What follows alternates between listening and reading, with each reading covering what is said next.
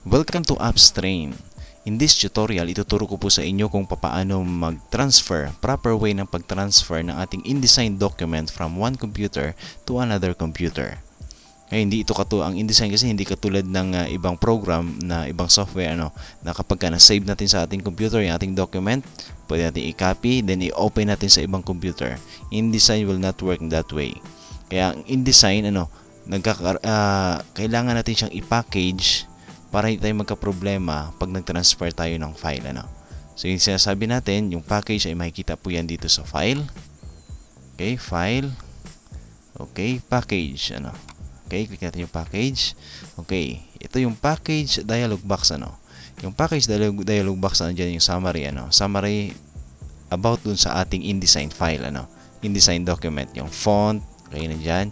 Yung links, images, ano, at yung iba pa, ano Okay, so dito sa font fonts at saka links, yan yung napaka-importante dito ano.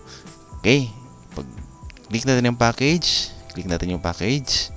Okay, next step niya ay uh, printing instructions ano. Actually hindi na hindi hindi to uh, malimiting na ano, yung uh, printing instructions ano, yung printer hindi na tumitingin sa mga sa instruction ito. Pero kung gusto nating maglagay, pwede naman ano, yung file name, contact number natin, yung company, yung address natin, depende sa atin ano. Okay, in this time ko continue ko lang. Okay, hahanap si InDesign ngayon, hahanap siya ng location ano, saan natin i-save yung ating package publication na folder. Okay? So, for example, lagyan natin ng uh, Okay, yung file name niya ay recipe book folder. Okay. Then dito sa baba, ano, meron dyan nakalagay copy fonts. I-check natin yan. Except CJK, ano, yung CJK, ang alam ko, yan yung mga Chinese fonts, ano. Okay.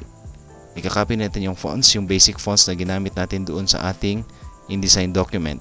Okay, i-check din natin yung link, yung graphics, then yung i-update yung graphic links kapag sa ating kapag sa nasa package na no. Okay, kailangan nating update na, no? Then, yung 3 na yan, pwede na naman nating i-check yan, ano? Pero yung basic, basic talaga, yung napaka-importante ay yung tatlo na ito. Okay? So, i-package natin, ano? Package. Okay, nagwa-warning si InDesign, ano? Yung warning na ito ay about sa font, sa typeface, ano? May mga font kasi na, copy, na ano, ano, na hindi pwedeng i-copy, ano? Hindi pwedeng i-copy sa iba. Kasi, ang gagawin ni InDesign kasi, i-copy niya yung font na ginamit natin doon sa computer na paglilipatan ng ating InDesign document. Okay, lalo na yung mga third party software, ay third party na mga fonts ano. Okay, click na natin okay. Let's proceed. Okay. Yan, pinapackage na ni InDesign. Okay. So puntahan natin yung ating uh, package folder. Okay, recipe book, ito na siya, package folder. Okay, ang laman ng package folder ngayon, yung ating InDesign document, Then yung instructions, instruction ito para sa printer na malimit naman, hindi tinitingnan ano. Okay, tapos yung links folder, okay, pag inopen mo yung links folder, lahat ng images, graphics na ginamit natin sa ating InDesign document, dito yan nakasave. Okay? Tapos yung document fonts folder. Okay, lahat ng fonts na ginamit natin, dito yan nakasave. Ano? Bakit nakaseparate? Ano? Bakit ganito yung pag-setup ni InDesign? Okay, para maintindihan natin yung uh, concept ni InDesign, Okay, ito si InDesign. Pag inopen natin yan sa ibang computer, automatic i-update niya yung kanyang link. Okay, magdi-link siya dito sa folder na ito. Okay, lahat ng images, graphics na ginamit natin, kukuhain niya automatic dito sa folder na ito. Fonts. Okay, document fonts, ano. Si InDesign, pag inopen natin sa ibang computer at yung fonts na ginamit natin sa InDesign document natin ay wala doon sa computer na pinaglilipatan natin, automatic kukuha si InDesign ng fonts dito sa folder na ito. At yung folder na yan, ano ginagawa ni InDesign? I-install niya kaagad, automatic, automatically i-install niya doon sa computer na kanyang pinaglilipatan. No? Kaya uh, hindi na natin kailangan i-open pa yung folder at saka i-manual install yung mga fonts na yan. Si InDesign ang gagawa para sa atin yan. Okay, so yung kagandahan ng package, ano?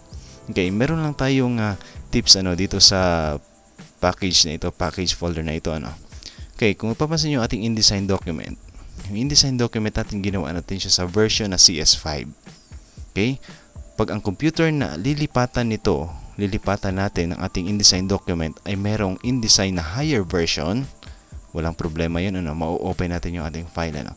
Pero pag baliktad ang nangyari, for example, ginawa natin yung ating InDesign, yung InDesign natin ay CS6 or uh, InDesign CC, mas higher version, then lilipat tayo dun sa computer na may InDesign na lower version, hindi yun ma-open, ano. So, magkakaroon ng error, hindi ma-open yung ating InDesign. Kaya kailangan the same version ng InDesign, the same version o di kaya mas higher version yung uh, ginagamit ng computer na paglilipatan natin. Okay? So, ganun ano. Ganun dapat yung uh, setup ano. Then dito sa links, okay, dito sa links, kung napapansin niyo po yung links lahat ng graphics, ano binanggit natin lahat ng graphics na ginamit natin sa InDesign document natin ay ilalagay niya dito sa folder. Pero yung ilalagay lang ni InDesign dyan ay lahat ng graphics, images na nakalagay doon sa kanyang document. For example, punta natin yung page uh, okay, ito page uh, page 5. Okay? So merong graphics dito sa labas ng ating uh, page. Okay?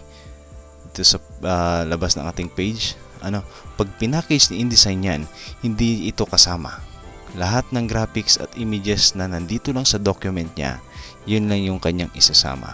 So yung nandito sa labas, lahat ng nasa labas, lahat ng nasa labas na yan, hindi yan kasama doon sa link panel, ano, link folder niya. Ano. Kung bubuksan natin yung link folder, okay, wala yung graphics na yun. Ano. Okay, wala dito. Ano. Hindi yan isasama. Kasi nasa labas siya ng kanyang document. Ano. So, napaka-useful, ano, napaka-useful kapag uh, alam natin kung paano ilipat yung ating file, yung ating uh, InDesign file from one computer to another computer ano kung gagawin natin itong proseso na ito itong uh, way na ito. Ito yung tamang way ano? Right way na paglipat ng InDesign file. Hindi tayo magkakaproblema sa post production sa printer. Pati yung printer hindi magkakaproblema no ma-open niya yan mapuproduce niya ng ayos at walang error. Okay? So yun yung gagawin natin. Package yung ating InDesign document. Okay, thank you for watching at sana po ay uh, makatulong po itong ating video lalo na doon sa ating mga InDesign users. Okay, please don't forget to subscribe sa ating channel, Appstrain. Marami pong salamat.